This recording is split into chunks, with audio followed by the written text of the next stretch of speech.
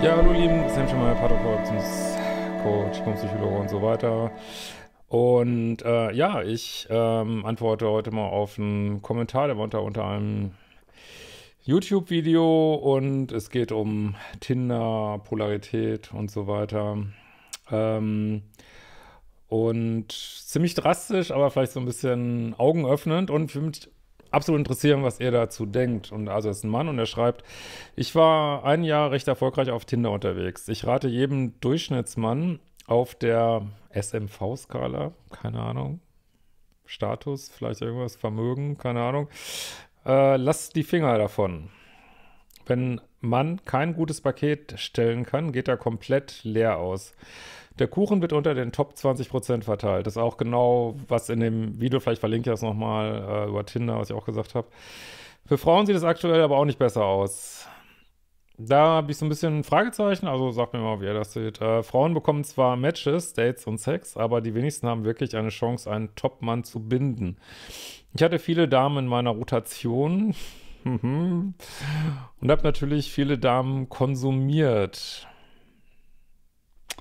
Für mehr reicht es aber meist nicht, außer Frau hat echt was zu bieten und kann liefern, was für ganz wenige Frauen zutrifft. Die Kerle, die Zugriff auf Frauen haben, wie ich, nutzen das Game, ohne sich ernsthaft zu binden.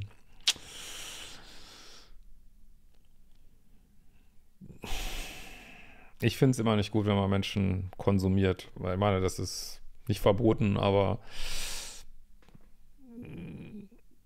bleibt man doch sehr an der Oberfläche, ne? egal ob Männer oder Frauen das machen. Fazit, Finger weg von Tinder und Co. Es gibt fast nur Verlierer.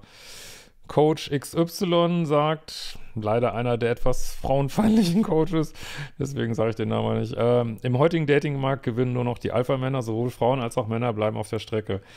Ja, ich würde dann aber sogar sagen, es gewinnt niemand, weil ganz ehrlich, wenn man ähm, auch als Alpha-Mann äh, Frauen nur konsumiert, weiß ich nicht, wie einem das auf die Dauer äh, der Seele so gut tun soll, wenn man überhaupt nicht in die Tiefe geht und ähm, ja, im Ego hängen bleibt letztlich, weil das wird hier, das, das höre ich da auch so raus. Also ich kann es total verstehen, wenn Frauen, Männer, Frauen machen das auch ganz viel, äh, wenn sie hohe Chancen haben auf dem Datingmarkt, wenn sie ihre Chancen nutzen. Ne? Ich meine, das hat die Natur auch irgendwo in uns angelegt, aber wir sind ja ein bisschen mehr als nur unsere, nur unsere Natur und äh, geht ja auch vielleicht mal darum, irgendwie sich in der Tiefe zu erkunden, äh, eine Tiefe zu finden mit einem Menschen und da würde ich, also ich habe das Gefühl, auf Tinder verlieren eigentlich letztlich fast alle. Na klar, wie das Ego von, das Ego wird sehr gefüttert, Dopaminrezeptoren werden schön ausgedonnert, aber tatsächlich würde ich auch sagen, da wäre ich der gleichen Meinung.